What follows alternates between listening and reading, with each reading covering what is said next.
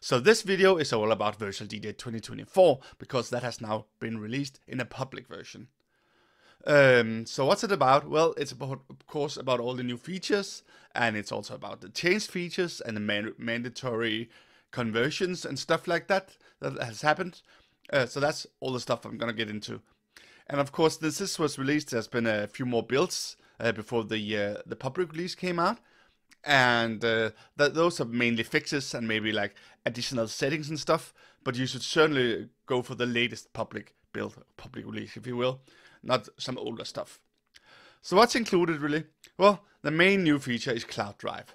So that's a way that you can sync your lists to a cloud and from a cloud to other laptops. So basically, uh, stuff that lets you use uh, whatever work you do, including your track files, and use it everywhere on all your laptops. And that has can be based on different uh, cloud uh, drives, if you will. So Google Drive from Google, OneDrive that's Microsoft, iCloud that's Mac, Dropbox that's its own company. So those are different options. I'm gonna be using Dropbox. Then we're gonna look at the library organization, what they call unified unified my lists, uh, because that's actually uh, a combination of the old playlists and old uh, virtual folders, which are now combined. So they they're gonna be automatically um, uh, converted when you uh, when you launch Virtual DJ 2024 the first time. So that's an important point. And then there's a new uh, instant folder shortcut toolbar, and uh, we'll look into that. I already done a video on that too, but we'll just go over the basics or what mo most people probably want to use. then there's something called link tracks. That's been there for like a, a month maybe, um, and I've already done a video on that. That's what's been working uh, in previous versions also. Uh, but this is the link track view, as then we're gonna look into that as part of this video here. So then also some smaller improvements like fuzzy key mixing that's been brought into Virtual DJ with a few settings for it. And then also some things that are not on this list, like uh, they have a, a, a way to uh, to keep uh, orders in folders, and it works a couple of different ways. It doesn't just work by keeping it, because that wouldn't really be usable for all purposes. Then there's also uh, a new way to see which uh, which tracks are actually part of these lists. So we'll go into that also. And then there's also a fix for uh, autoCue when you use that in combination with the keep playing status feature. And uh, I'll also get into that one. Uh, so a lot of ground to cover. And if you look into the uh, into the, the video description, there's some links so you can jump jump to whatever part of this video that you would like to see something about. But we'll start out with this library organization thing because that's the thing you'll notice when you open Virtual DJ 2024. Uh, the browser section has changed, especially the left side of the, of the browser section, because of these conversions and this new uh, shortcuts toolbar. It may be a little confusing when you first uh, open it up, so uh, to avoid this confusion, let's do that first. And then the other parts are mostly new features, which you can just really leave be until you want to start try playing with them or using them. So uh, I would say that this library organization thing is the thing that everybody should know. So let's start there. So yes, it's true, the browser section looks rather different when you open it up, right? Because it looks like this now. So what happens to some of your stuff, you might say? Well, um, first thing you might notice is that there are no buttons over here. There might even not be buttons down here either, but you can always get those back by going in here and selecting some show only, and they'll, they'll show back up these three show only buttons. But what about the stuff up here? That used to be like uh, like new virtual folders, and used to be new filter folders, and used to be new favorite folders. Well, all those buttons gone. Well, they actually become mostly right-click functions over here, except for uh, favorite folders, which are actually the bar now. It's called the shortcut bar. We'll get back to that later. The next thing you'll notice is probably that this stuff has arrived. The green one, ideas. So what's that? Well, that's most of uh, all the stuff that was previously in the lists and advices folder. So you have your charts, you have your Genius DJ, you have your cloud lists, you have your Ask the DJ, and you have your history. And then before you may not have had your filters in here, but they're there now by default, all your old filter folders. And another thing that's missing is all your old playlists. They're not there anymore because all the old playlists has been converted into the new playlists that are all just called lists. And they're all the old virtual folders and they're all the uh, old playlists. So the playlist specifically has been uh, that was in here before in the old folder has been converted and are now lists down here. So they're still here and you can still click them and you uh, still have all, uh, all, your tracks in them. Uh, they're just called lists now. It's not all your playlists that's been converted. It's only the ones that Virtual DJ considered parts of its own world, the ones that are in here. If you just happen to have some other ones on your hard drive, gets really M3U files behind the scenes, very old standard for playlists, they're still there. So for instance, I have some in here. So on, on my hard drive, so these are the old playlists that you can see, and uh, and they still work, and, still, and they haven't been touched. So that still works fine.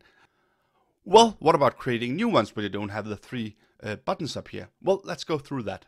So virtual folders are now lists. So they're in my lists by default, but you can just grab them and put them everywhere like you could before. So, but that's where they start out uh, after the conversion, right?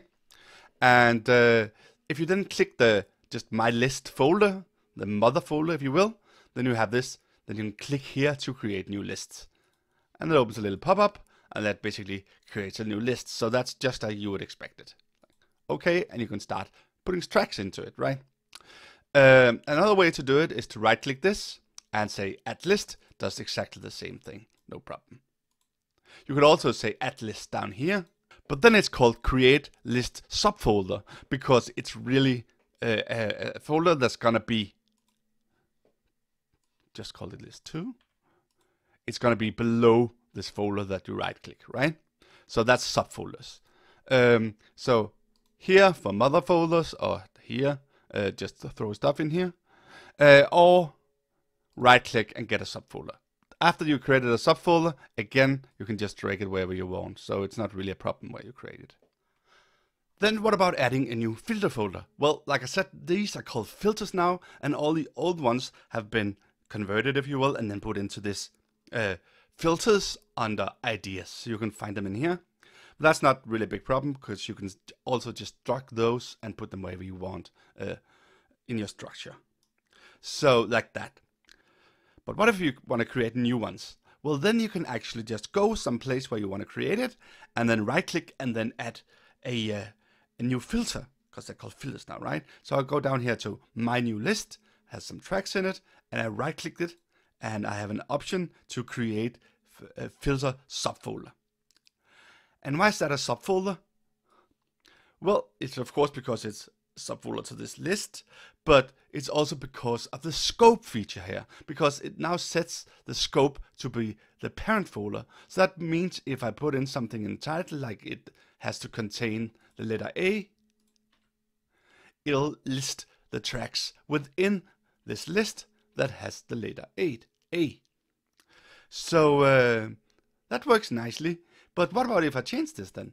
Well, I could change it to database, then I get all the tracks with A in, in the entire database. Of course, there are going to be lots of those. And then there's a third setting, the parent recursive, this one.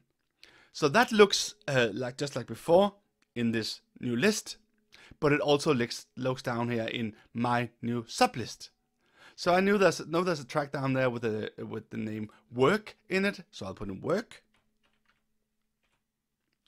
And that's not in my list. It's only down here. Just close this one. So it's because it's down here and because uh, that's it's not in here, that'll only appear in my filter. We can just edit it. When this is set to parent recursive because it also looks in the subfolders, right? That's how you create new filters, like they're called now. Then there's old favorite folders. They have still survived. You can see the yellow ones here are still there. But you can't really create new ones over here like you could before. So these still work. They basically just point us to some place on the hard drive, right? But now the idea is that you create shortcuts over here in the shortcut bar. So I, I go to some place on, the, on my hard drive Can just go through this. So I can go in here, pick that one, and then I can click the plus. And then I get this pop-up to choose a uh, an icon for this shortcut. And I can also pick a color. So I'll pick the color red first. And I'll pick a little heart. So now I have uh, direct access to that. Show a shortcut, if you will. So not a uh, favorite folder, but a shortcut. I can do the same for another one, so we can just see the difference. That one. And click the plus again. Pick an icon. Maybe get a color first. This kind of blue. Yes, that's nice. And a coffee cup. And I'll get that one. You can also add your own custom icons, if you will. But that's a way to do that fast. Of course, what it does, it jumps to that place, right? Just like a favorite folder did. So that's the idea of, of how to do that now. And then maybe an important thing, the favorite folders are not totally gone. Uh, you can still get them by right clicking. So if I go to some place on the hard drive, like maybe this this fun folder here, and I right click it, I get an option to set as favorite. And I then go back out here, I get my old school favorite folder. So you both have the shortcuts and the old school favorite folders. You can still create those. And like I said, the old ones still survives. And then there's maybe one more thing missing over here because there used to be like a back button, like a previous folder button, if you will. And that's not there anymore, but you can get that back in settings. Let's just do that. So I go into settings and I search for previous folder, just previous. And then I get the browser previous folder button. I set that to yes. And then at, at the top here, I get that back, back. So I can click that and go back and forth between places. Just like previously. Like that. And then these new lists have some additional settings, actually features, if you will, on them. So if you right click one of them, this one, you can see I have no duplicates that I can enable, keep order, and disable hotplug. So what, what does those do? So let's try going through them. First of all, they're based on the folder. So if I enable no, no duplicates on this one, and I right click the next one, it hasn't got it enabled. I can enable it, and I can disable it, but it's going to be independent because it's still going to be on the first one, right? So it's based on each of them. So if we do no duplicates first here, that's pretty obvious what that does. It removes the duplicates. Uh, it doesn't do it instantly. So for instance, if I deselect that and I go up and put in up by Cardi B one more time. Right now, so you can see it's here twice. And I do no duplicates, then you can still see it. But if I click something else and I go back, then you can see it has removed the second one of those, right? So the duplicate really. And um, if, that also means that if I go back into here and I grab it again and try to put it into my list, it won't work. It's still only there one time. Then there the next setting or feature, if you will, on this, on the list, and that is keep order. If I enable that, you can see the columns actually changes here in the in the in this uh, browser setting, right? Because it now has it, its own. So that means that not only can I tell this to be ordered by artist instead, and I can tell it that I don't want a remix to be shown. So move that up, up here, so I don't have remix anymore. So ordered by artist, artist and no remix. Then I, when I go to the, another one, then it goes back. It's ordered by the BPM like before. And uh, if I go to a, th a third one, uh, this one, Test, it's also ordered by uh, BPM and has the remix. Um, but when I go back to this one, it remembers that which columns I want and what uh, ordering or sorting I want. So that's that little bit. That's pretty cool. That means that each list can have its own uh, columns and it can have its own sorting that it goes back to when you go back to the, uh, the list, no matter what you have done to lists in the meantime. And then of course, if I disable it again, it'll jump right back to sharing these things with all the other for uh, all the other lists, right? So the last thing here is actually the opposite. You have to actually disable hotplug. What is hotplug? Well, that means that when you move your, your files around, the track files around that are in this list, maybe uh, around to a different drive and stuff, uh, the, the list goes with it. And you might not want that. You might not want to put that everywhere, split it uh, all across um, uh, for instance, uh, removable drive and stuff like that. So you can disable that on a, on a uh, on a list. You can also do it in the settings, so do it for all new lists. Meaning that if I go into settings, so it's hot hotplug, I can say disable hot hotplug for new lists, and we can read at the bottom. It says Set all new lists to disabled hotplug, which will keep the list on the main drive instead of splitting it across the various drives where the content is. So if I set that to yes, and I go back and I create yet another list, for instance, create list subfolder here, and call it test. See, now it's disabled by default if you don't want this stuff. Then there's a couple of other uh, little settings worth mentioning regarding this. And the first one is called Browser Auto Export M3U. So there's just search for Auto Export. And uh, this one, and like you can see in the in the in the description, is automatically save the M3U copy in this folder uh, for each list in my lists. And that's really for sort of a backward compatibility for other software. I believe this was made so like like Crate hackers will still work, so other software is able to to le- to read uh, virtual DJs uh, data the way that it's usually reads them. So if you're for instance playing with Crate Hackers, you should probably enable that one. The other one that I want to mention is called browser show side view in lists. If I enable that one,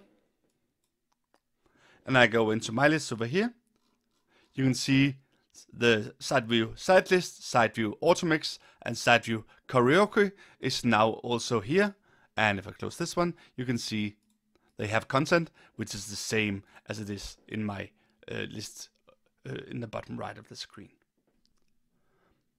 Then there's a link track view, and that's really all about linking tracks together manually. So you can manually mark which tracks go well together. Uh, and you get to them by going to the remixes pane and clicking the little menu and selecting show tracks linked to the playing song instead here. So you have this, and then uh, when I load and play a track over here, uh, that's not linked to anything, but I can then grab another track and say I want it to be linked to this one. And then um, every time I load th this track up here, I'll get this link. And every time I load the track I link to, I get a backward link. So it go also goes the other way. Uh, and of course you can put in more than one track here. So that works nicely. And now we have a direct link and we have the backwards link. Uh, so uh, that's pretty nice. And then uh, that also has a history setting, so you can actually also see what it may go well together based on what uh, you usually pay, played with. Another way of, uh, instead of grabbing and put it in there, another way of marking it is by right-clicking the, uh, the artwork and then mark track link to let go. That's what is on the opposite deck. So I can do that and then it also goes down there. So you can link it to multiple tracks at the same time and so on and so forth. So that's a really cool feature to like make little mini sets, but I've done, uh, done a separate little video on that and I'll link that video in the video description. And like I said, it's not really part of Virtual DJ 2024. It was released about a month before, so people have already started using it, probably seen it before this version. And you can actually also see them in the info pane if you want. You just have to enable them first. So the start menu and fields and has links. And that'll be this one. Uh, and this, if there are more than one, there'll be a little drop down. So let's load the other track here. And see if I click it, you can see both of them. And if you click more, then this will switch. So you can see it, the same view as before. So one final thing about linked tracks, at least in this video, is that you can actually query it, meaning that you can, for instance, add a color rule based on linked tracks. So I'm going here, add a color rule, say, well, it should be based on hashed links. So if that is one, um, then you should turn this track green, like that. So that now means that these two turn green because they have direct links here. Uh, if I load this one, you can see that also turns green because it has direct links, but it also gives you the information over here that the backward one that it points against, that's the one we just loaded, that actually also has link tracks, but these two up here that it links to, uh, that this one links to does not have link tracks themselves.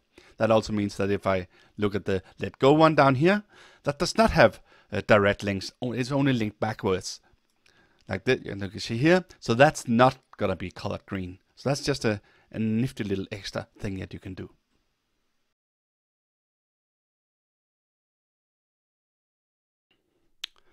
So the main new feature in Virtual DJ 2024 is Cloud Drive. And what's Cloud Drive? Well, that's really all about syncing your tracks and related info between laptops using a cloud drive or a cloud-based storage, if you will. So uh, it's really so that your all your laptops always have the same information and are ready to go if you just do your preparation and downloading and adding and all this sort of stuff on one of them and have this set up correctly. Like so a lot of people have actually done this manually by adding their tracks to a cloud drive or cloud storage and then moving the database around or maybe having it be on a cloud uh, drive and then automatically syncing and all this kind of stuff. It's a little risky there's like a, a, long list of what you should do and what you should not do and all this kind of stuff if you wanted to do this uh, before. But now it's all automatic because it's part of Virtual DJ.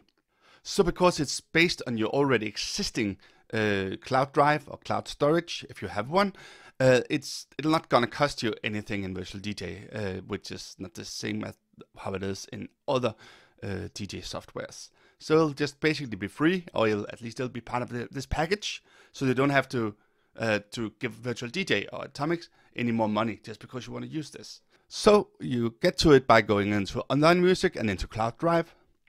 And the first time you click this, uh, it'll ask you to log into whatever Cloud Drive you like. But uh, as you can see right here, um, in Storage Engine, you can see the ones that you can use, and you can see I've currently using Dropbox. So I've signed into that one. Now, the first time you sign in, it may be a little bit uh, harder because you need to do some multi-factor authentication and stuff. That's all depending on your cloud drive. So that would be like that if you had a new laptop anyway. But just uh, uh, notice that maybe the first time you sign in, it'll take like a few minutes and maybe an email or maybe an, maybe an SMS or something like that, depending on your cloud drive. So you can actually just click in here to start adding to your cloud drive once you've signed in. So you click there and you create a folder and you can start adding track to it. And that's nice. Let's just call that test one. So now we have a, a, a list, one of the new lists here, uh, on our cloud drive. And we can of course put tracks into it and that'll all get synced. But maybe a, a more realistic option is to use some of the stuff you already have. So for instance, down here I have uh, my new list. So I can right click that one and I can tell it to sync to Cloud Drive. Like that. I can also do it to this old filter folder here. So I can tell it to sync to Cloud Drive and then they'll also be synced to the Cloud Drive. So what actually happens then? Well, what happens is that a new virtual DJ folder is being created in the root of your of your cloud drive, cloud storage, so in this case Dropbox, and all the tracks are getting put into here. And also some other information, we'll get back to some of that later, but for now you can see we have this VDJ folders.json, so that's the file that's actually keeping track of all the folders that's over here. So that's where it goes, and of course all the other laptops that you set up can actually read from this place. So now it's all about keeping the syncing in line really for all the other features because it simply goes here. And in Dropbox, you can actually see the virtual DJ folder. On some of the other uh, storage options, it'll be hidden. But for us, we can see what's happening, and uh, I think that's nice. But it, of course, uh, shows some of the internals of Virtual DJ Cloud Drive, if you will. And now, like you can see, all the animations across the screen have ended. So now they have all been synced. They've all been uploaded to the, the cloud drive, basically. So you get this little cloud icon instead. So you can see that they're in the cloud and ready to go. So what can actually be synced? Well, we just saw me syncing a, a new uh, list that I made. I also synced a, uh, a, an existing list. And that has a slightly different icon, but that's because it has some sublists which are also synced. So this one was empty, but this one was not. So that's also synced. So that's nice. And then you saw me do a, uh, favorite folder that actually also gets turned into a list here. So that has now also been synced as a list. And it also has this different icon because it has a subfolder here and a sub-subfolder. But really, it's all about tracks and lists and a few additional things. But that's probably mainly what you want to work with, unless you want to add your entire collection and then just have this cloud drive handle everything. That's also a fair, valid option because that's of course maybe what you want to do if you want to, for instance, synchronize your primary DJ laptop and your secondary or backup DJ laptop. But what is actually being synced then? Well, of course, the tracks, but it actually also syncs some more stuff. Um, because that's also all the, all the database stuff, right? So uh, it is, adds the database information over there, so that gets synced to. So the BPM and your and your uh, keys uh, detections and your hot cues and all this kind of stuff. And it actually continuously synchronizes that. So if you just do a change to a hot cue on a track that's part of this synchronization, it'll change the hot cue on all laptops. So that's pretty cool. That means you can prepare or change uh, already prepared tracks on whatever laptop and it gets synchronized. This information gets synchronized to the other laptops. So very cool. Uh, it also automatically uh, does the changes to a list. So if you add more tracks to a list that's already on the cloud drive, it'll also sync that information. And uh, maybe even more important, if you prepare stems, like prepare stems on your fastest laptop, those prepared stems will also get synchronized to the other laptop. So when you go to a new laptop and you load a track that has prepared stems, the stems are gonna be ready for use, even though you haven't prepared them on this laptop. So of course, now we need to see some examples of this actually working, right? But to do that, we actually need two laptops for it to make sense. So what I've done right now is that, of course, I've signed up two laptops to the same cloud drive, signed in and stuff. Uh, but then I've also created these three dummy shortcuts. So they don't do anything, but on this laptop, they're red. And on this second laptop, they're gonna be green, like you can see here. So now you can definitely tell the laptops apart. You can probably also tell it by the audio because it's two different mics that I'm using to record this with. So what's inside my cloud drive on this laptop? Well, let's go in and check. That's actually the three lists that I wanted to sync. And the test was empty, right? This was full of tracks with some subfolders, and this had even more tracks in it. So they've all been synced. So that's nice. Of course, I just started this one so the syncing is actually done best at startup, I would say, because that's when it checks everything. But you could also force a synchronization if something is missing. So what if I change something? So what happens when I add a track to one of the lists that are already there? So let me try grabbing this one that also has prepared stems and going into the test one, which is a Cloud Drive uh, list and which is currently empty. So you can see it starts uploading it and it's done. And it gets the icon. And over here on the other laptop, you can see it will have been synchronized into this list. So when we load it now, the stems are being brought down from the cloud drive. So like that. So what happens then if we make a change to this track, like maybe add another hot cue? Well, let's find out. And please notice that we're now on this secondary laptop or the second laptop, can see the, the green icons over there. So not on the one that we did all the first stuff with. This is the other laptop that we're now using to make changes. So let's jump, just jump all the way over here maybe, like here, and say I want my third cue point on this track to be added here. So that'll of course just work. So what happens then when I open Virtual DJ on my first laptop? Uh, you can see that illustrated by the red icons. And I go into the cloud drive here and into this playlist. Well, of course, it's still going to be there.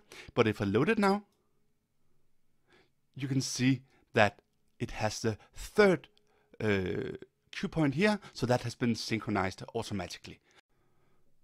So to sum it all up, what did we see? Well, we saw that we could add lists and tracks on one laptop and it got synchronized to the other laptops.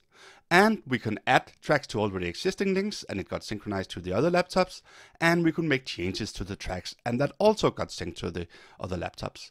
And furthermore, if you had prepared stems, that also got synchronized to the other laptops. So that's really what this thing does. It doesn't sound like a lot maybe, but it can really be used for a lot of things. So what do I think this will be used for? Well, one of the scenarios that uh, Atomix have talked about is that if you can have like a, a uh, emergency playlist uh, here, and then when you go to someone else's party and they have Virtual DJ installed, you can just sign in and you can work with your own tracks that are already prepared, including maybe their stems. Well, I don't think that's like the main use case. I think this will mainly be used to uh, synchronize your your laptops, uh, so your primary and your backup laptop. That's also a reason why it's not so important that if you it, if it does all the, uh, the synchronization live or if you have to restart because it's really for the next time you open Virtual DJ on the other laptop, right? That's the main use case in my in my opinion. And actually, I have a, a secondary use case that I think I'm going to use it with because I usually use three laptops a lot because I have some breaks at work. So I, why not use that for to buy new tracks and and to uh, to prepare the tracks. So like setting uh, some some cue points uh, mainly, right? So I do, I do that quite a lot on my work laptop, but of course that's not the one that I'm DJing with. So uh, uh, it'll be nice that I can do that on my work laptop when I have a break at work, and then I uh, I when I get home and open my DJ laptop, that'll then be synchronized, and then when I open my backup laptop, that'll have been synchronized there too. So I synchronize and I prepare on my uh, primary laptop. Then I come home to my DJ laptop. I might prepare stems on that one because it's much faster. And then uh, on my third laptop, the backup DJ laptop, that'll also be ready for use. I just have to make sure there's an internet connection or that I have had it opened with an internet connection for a few minutes before I leave the gig. And everything will be ready when I get there. So there are a few more things to talk about uh, when it comes to Cloud Drive. Uh, there are some settings. There are some options to force download. there are some ways you can um, remove it again. There are ways to see if you want it to be actually a folder uh, on the laptop when you download it, uh, synchronize it to download, and all these kind of things. But those are like little details, and I think I will uh, leave that for another video. Also, this is continuously being worked on, so new features will come and new use cases will come. But again, I think that's gonna be for another video.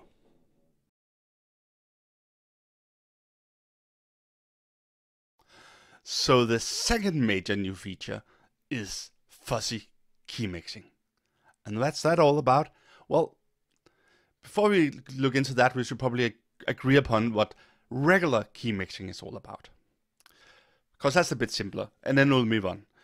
So key mixing is basically about mixing a track into another track that's in the same key. So this track is in B minor, so you should really mix it into another track that's in B minor. That would be key mixing, right? But luckily, according to uh, musical theory, you, you have a few more options because if we move it up a step and look into harmonic mixing instead, or harmonic key mixing if you will, then you don't really need to go into only B minor, you can also go into a few other uh, notes or chords if you will. Uh, and that's where the Camelot wheel come in. So this is a Camelot wheel and it's from mixedinkey.com, but there's a million of them and they're all the same. So this is just a little helper thingy to help you figure out what goes well to together. So if you, for instance, have a track that's in G major, then the rule of the Camelot wheel is you can only go, go one step and it'll still be in uh, you can still do harmonic mixing if you just move one step. So of course it'll go well with another track that's in G major. That's kind of self-explanatory. But it'll also go well with a track that's in E minor because that's the uh, that that's the parallel tonality to G major. It'll also go well with D major and it'll also go well with C major. So we have itself G major, we have uh, one step this way, we have one step this way, and we have going into the other circle here to the minor. And those are the ones that'll work great for harmonic mixing. So um, that's a little bit hard to remember. So of course this one was made and people kind of learned that by heart. Uh, but it was also a little bit easier to look at the numbers that has been assigned to these. So if you have a track that's in 9B, which is D major, then you can only move to 10B or 8B or 9A. So the same number, but the different letter. Those will be harmonic mixing. So these three options, plus, of course, itself. But then, of course, we got the ability to change the key of a track. So if I play this track,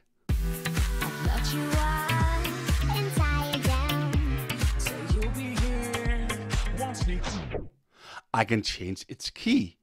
So that's nice, but it goes a little crazy, like you could hear. So there's kind of a, like a rule of thumb saying you should never move it more than one semitone, meaning one step. So either uh, stay in key or go one key up or go one key uh, down, with either one step, which is one semitone in each in either direction. Then it'll sound pretty good because it's not too bad. So this is the real key. One up, one down. It's not too bad. So that's nice. But that, of course, opens a whole lot of options when you look over here. Because now, if you have G major again, and you couldn't really find a track you wanted to play in either of, of these four, so itself on of these three, then you could try changing G major one semitone or change the new track one semitone uh, depending on what you do. So, so one semitone up from G major, that will be G sharp major. That's not here because that's the same as A flat major. So that would be this one over here. And that would give us three new ones to uh, harmonical mix into if we accept that we change it one semitone by changing the key of the track. The same the other way around. If we go the other way around, then G major will be uh, F sharp major, so this one, and then we get other ones to mix into, right? So that gives us a lot of extra options uh, for harmonic mixing if we just accept and we can move it one semitone. And that's actually what Virtual DJ has been able to do for us for a long, long time. So uh, if I have a track loaded here that's in G major, uh, and I load another track that's in G sharp major here. Of course, those won't harmonically mix. It's actually pretty horrible step between those two uh, if you just start them. But it's only one semitone apart, which means that if I click the key button over here, it'll tell me your track has automatically shifted by one semitone in order to make it harmonical, harmonically compatible with the other deck. So now they're both G, but just shifting it one semitone. And I can actually uh, do that automatically if I want to by going into the settings here and telling it to auto match key. Now if I unload this track again and load it again, it'll, because I haven't removed this by setting the cross, it'll get us, give us a pop-up. Of course, you don't want to see that forever, but it will automatically have shifted this to G, and you can say it says minus one. So that was the old school harmonic mixing. But it's still a little bit hard to figure out what's happening, right? So for to help us with that, uh, Virtual DJ also have an extra column called key difference. And you could also see these markers. These markers was also there before, but now they've moved onto this key difference uh, column here. So basically, Virtual DJ is telling us how many steps there needs to be before before a, uh, something matches. So of course this is the loaded track uh, on this deck. So this will match fine with itself. It'll match fine with anything that's in G major. Uh, and you can also say it's a zero steps. But you can also see that uh, it has this uh, full gray uh, little tick, meaning these goes well together. But this one is one semitone, so that's a light gray, because in order for that one to go well together, you'll have to let it do a, a key shift to minus one, right? Like it just did before. So, uh, so that's little an indicator saying, well, this is one semitone uh, away from doing a good harmonic making. It didn't have to be G sharp. It could be any one of, a, of the of the okay ones on the Camelot wheel. Uh, so it didn't have to be, be close to G. It couldn't be uh, close to one of the others as well. But this one, that's two semitones. So that won't work. So I'm going to just disable this thing again and say, well, don't auto-match key, but uh, let me just load list this one instead. And of course, there's no auto match, but if I click the key to make it do harmonic mixing, it'll tell me smart key match only applies if the key changes within plus one, one, one, minus one semitone. So it simply won't help us do this. Of course, said previously, we can do it by hand. So we can change this to be uh, something that it fits well with, for instance, itself. Um, so that'll be an option.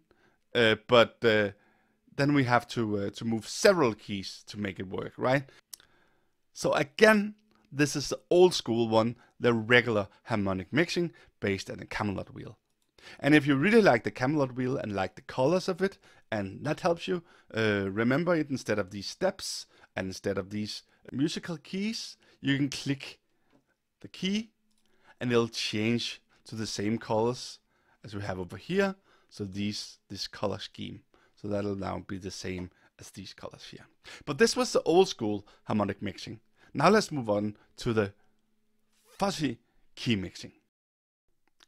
So fuzzy key mixing is really all about breaking the rule of one step here. So before, if we had a G major track, we could either go to one up from 9B to 10B to D major, or we can go one down here to C major, 8B, or we could move into 9A. Those were the only legal steps for harmonic mixing, right? Stay 9B, of course. Now with fuzzy key mixing, some people have found out it's almost as good, or it's usually as good if you do it diagonally. So that meaning that 9B also goes pretty well together with 10A. And with AA, 8A, and the same for 9A, that goes pretty well with 10B and pretty well with 8B. And that of course means that there's a whole lot more that works well together. So that's basically the rule of fuzzy key matching. But it's not as good a rule the, as the old rule, meaning that if you choose to pick the other ones here, you probably wanna uh, you probably wanna test it by ear before you call it harmonic mixing, because it's not always as great uh, as the old school way of doing it. Now, of course, if you combine this with allowing uh, the track to be moved one semitone, like we discussed before, uh, and combining that with the new rules of fuzzy key mixing, it'll open up a whole lot of more keys, right?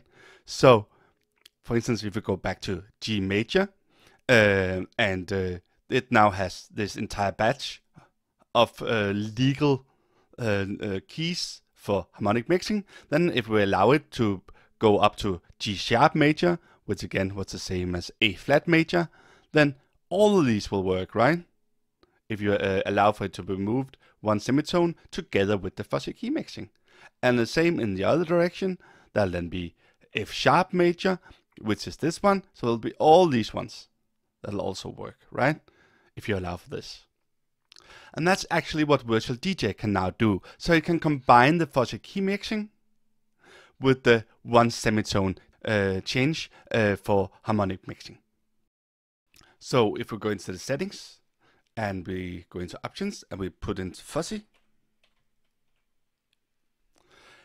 and we do this fuzzy stuff, then it'll also indicate uh, that this works uh, with these other keys and it'll also do the automatic um, key match if you set that up. So let's try enabling fuzzy. And now you can see, now they're all one, two, or zero. So only the twos won't work because I will only do one semitone step, right? So I won't change two uh, semitone step, but all the other ones work now because we are allowing this fuzzy key mixing. So that's pretty cool. So it lets you do a whole lot more now. Fuzzy key mixing, which is almost as good, right? So what's then the final step? Well, the final step is, like you saw before, there's actually yet another setting. Fuzzy full. And like you can see at bottom, this now allows for two semitones when you match. So that means that if you allow for that, like this, then they'll basically all match. Meaning that if I load a track, and I load another track, and I press key, then it'll be shifted by two semitones here, because it was labeled 2. That wasn't allowed before, but because I did the fuzzy full, that's now allowed. So it's moved this 2. So now it's B minor to E minor, and that's allowed according to the uh, fuzzy rules and the two steps. So no problem. So that's what they all do. They'll all work basically when you allow for both of these things. So it's crazy, and you should definitely use your ears when you do this stuff. So that's fuzzy key mixing and fuzzy key mixing plus or fuzzy full, if you will. Everything can go with basically everything now. But again, trust your ears.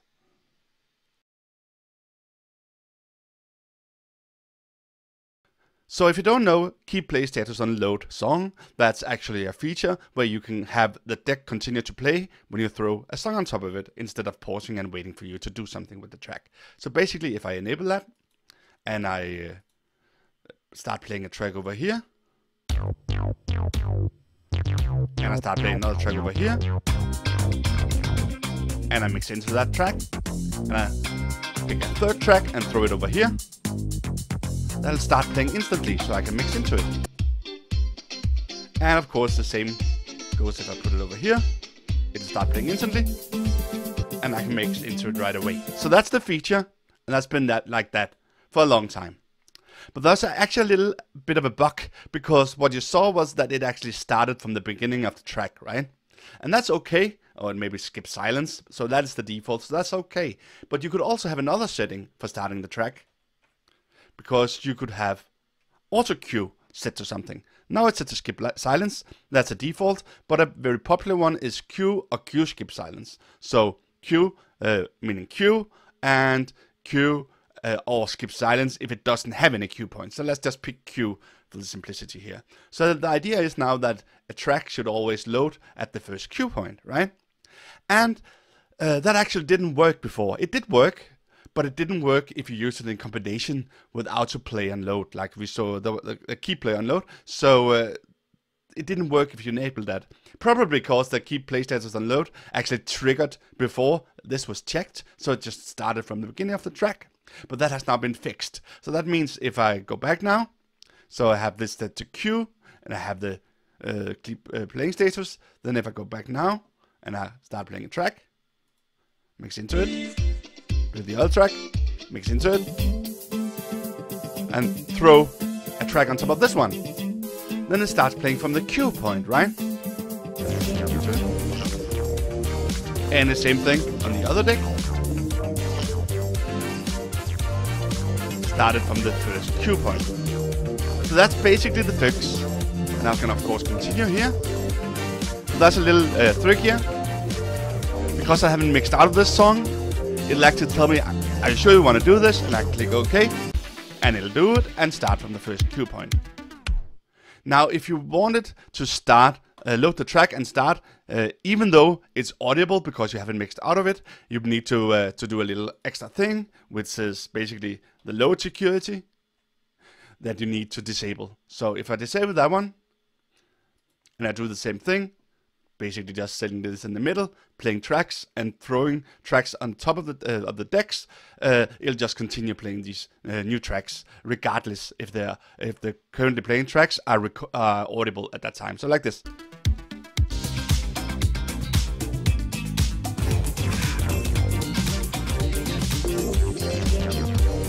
So just load them, even though the old one are already audible. And it plays them. Like that.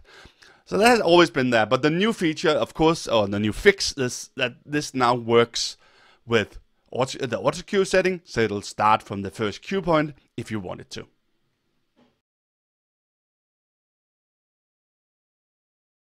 So one final thing I want to mention before I end this video, which is probably rather long by now, is how you can go back to Virtual DJ 2023 if you really need to. And that's just a matter of going into virtualdj.com slash download slash build. I will put this in the video description and then go grab an older build down here. Uh, there are of course lots of them, but the 7921, this one, is the final Virtual DJ 2023, so that's probably what you want and then you simply download it. And after you download it, you install it on top of the other one, and then you will have uh, the the uh, the executables or the binaries for Virtual DJ 2023 back. I'll get back to that in a second. Another option, uh, if you will, is to uh, go into this folder, the program files file slash virtual DJ, and locate the virtual DJ.exe file and rename that to something like 2024 in the end. So you keep it and then install uh, on top, and then you'll get a new executable just called Virtual DJ Exe, and that'll be 2023. That way you can keep multiple versions, like you can see I've done here with older versions. So right now I'm, I'm kind of opposite. So my this one is the 2024 one, and this is the final 2023 one, but that's just names. So that means I can actually just double click this one to open it and get 2023 back.